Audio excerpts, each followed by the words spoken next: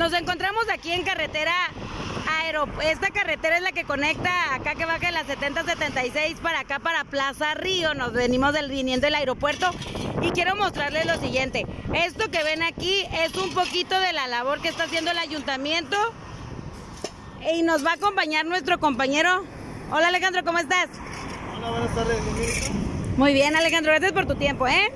Calorón, ¿verdad? Oye Alejandro, eh, bueno, ¿qué te podría preguntar? ¿Cuánto, esta es, esta es la única área en la que hacen trabajo o hay otras áreas en las que hacen trabajo? No, son diferentes. Somos una cuadrilla, nos dividen y nos mandan para diferentes puntos. Hay unos compañeros que están más allá adelante donde está la Estatua de la Libertad. Ahorita nosotros nos tocó aquí. Ok. Hay otros que andan en la vía rápida. Son diferentes puntos, dependiendo. Ok, muy bien. Alejandro, ¿ustedes son voluntarios o reciben un sueldo? No, nosotros sí recibimos un sueldo. Ok, Tenemos muy- contrato con el municipio. Muy bien, qué bueno.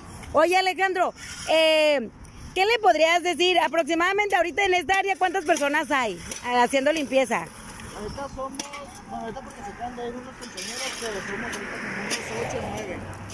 Oh. Este, hay veces que podemos ser más, hay veces que podemos ser hasta menos, dependiendo el punto donde nos manden y que con, con qué tanta urgencia se tenga que sacar el trabajo.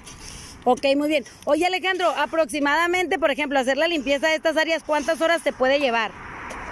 Pues si el tramo está muy muy sucio, eh, nos puede llevar hasta semanas, meses. Por ejemplo, la vía rápida es uno de los trabajos más largos porque aventándonos la rápida, la oriente y la poniente, podemos tardar medio año. Dependiendo qué tan sucio esté. O por ejemplo en este tramito aquí nos puede un, un mes dependiendo. Y, y lo peor, Alejandro, por ejemplo, ahorita están quitando pues lo que es la maleza y la hierba, pero pues yo creo que es muy desagradable, ¿no, Alejandro? Que ustedes este, se tarden, por ejemplo, no sé, en este en esta área unas seis horas, por decirlo así, nada más en, en- en medio limpiar lo que son como las hierbas y eso, porque está bien difícil, allá vemos el trabajo de tu compañero.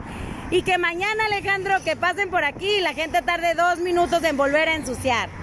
¿Qué les, ¿Qué les dirías a esas personas, Alejandro, que no, pues que no, que son cochinos y que no valoran el labor de limpieza del ayuntamiento? La verdad sí siento yo que tendría que tener un poquito más de conciencia, más que nada porque, o sea, sí, como usted dice, nos tardamos tanto tiempo en limpiarlo y a la gente le cuesta minutos, segundos en volver a ensuciar. Así es. El trabajo que nosotros hacemos no solo es porque nosotros nos mandan a hacerlo, al final de cuentas es algo que le beneficia a toda la ciudadanía.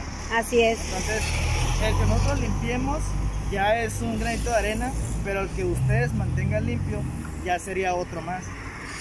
Perfecto. Pues muchísimas gracias por tu tiempo, Alejandro. Igual vamos a invertir, a invertir, vamos a invitar a las personas a que no solamente pues tengan conciencia y mantengan limpio, sino que pues igual, Alejandro, si alguien quisiera ser voluntario, hay brigadas donde pueden ser voluntarios para limpieza, Eh, me parece que pueden acudir a, a Palacio. ¿ok? Creo que en recursos humanos pueden darles un poco de información. La verdad, yo no puedo darte. Ok, muy bien. ahí. Gracias. Pero sí hay veces que se hacen unas pequeñas brigadas donde, si el punto está muy crítico, si a lo mejor van, nos ayudan a despejar así como a veces lo más fuerte. ¿Ok? Y ya nada más nosotros lo que hacemos es detallar. Muy bien, pues Alejandro, chicos, gracias por su labor. Muchachos, gracias por su labor, Alejandro, muchas gracias, que tengan buen día y pues saludos.